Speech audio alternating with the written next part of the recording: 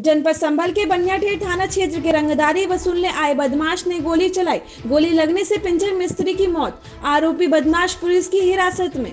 जनपद संभल के बनियाठेर थाना क्षेत्र के बाकरपुर बेंद्री फाटक के पास मोहल्ला कागज़ी निवासी आलम अपनी दुकान का निर्माण कार्य कर रहा है।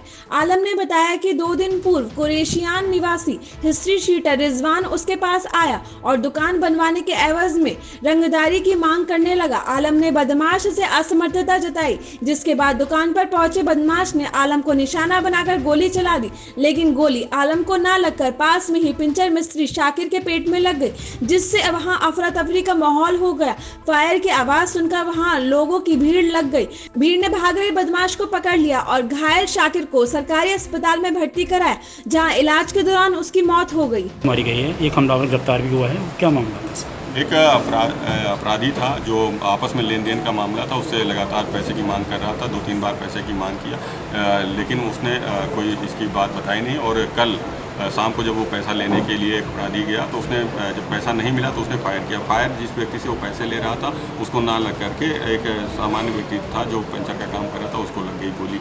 और वो अपराधी पकड़ा गया है, उसका एक साथी है, उसको भी गिरफ़्तार किया जाएगा जल्द से गिरफ़्तार